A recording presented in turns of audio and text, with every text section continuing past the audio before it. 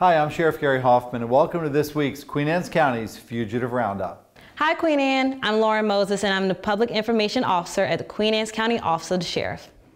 I think it's about time we give this a spin. I think so too. Oh, and by the way, if you see your picture up here and you don't like it, feel free to email us your selfies. Or, better yet, we can come to your house, pick up you and your selfie. And I'll tell you what, if they come to the office, we're even going to give them a complimentary photo to take with them when they get done. So that's a great idea.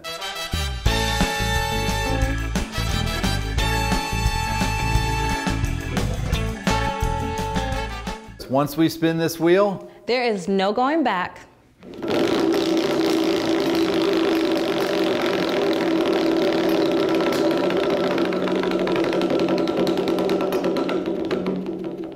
Looks like Demetrius is now Insta famous. Demetrius, you can do the right thing and turn yourself into our office. That's the best way to handle this. Demetrius Stephen Kearse. He is wanted on two circuit court bench warrants for violation of probation on the original charges of an assault in the first degree and burglary in the third degree, issued on August 7, 2018. He should be identifiable by a tattoo on his right wrist, tattoo on his left arm, and he also has a Preston address.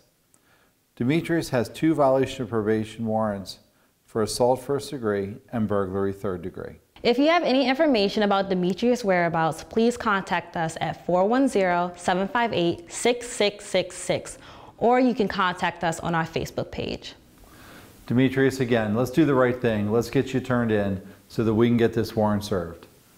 Again, we'll see you in a couple weeks for another Fugitive Roundup.